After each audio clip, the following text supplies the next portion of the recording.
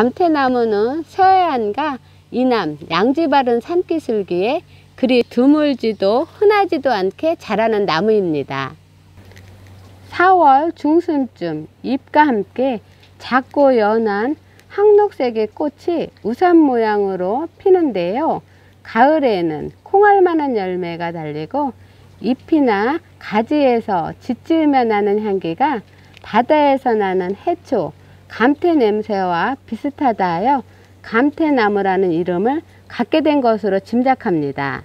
감태나무는 죽어가는 사람을 병마에서 구하기 위해서 하늘에서 몰래 감추어둔 약성 좋은 나무라고도 합니다. 옛날에 달마도사의 지팡이가 바로 연수목, 즉 감태나무라고 합니다.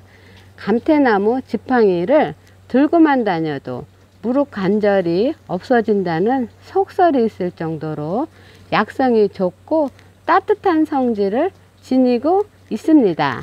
감태나무는 모성애가 강하기 때문에 겨울 눈을 추위를 조금이라도 막아보려고 겨우내 묵은 잎으로 겨울 눈을 감수하고 있습니다.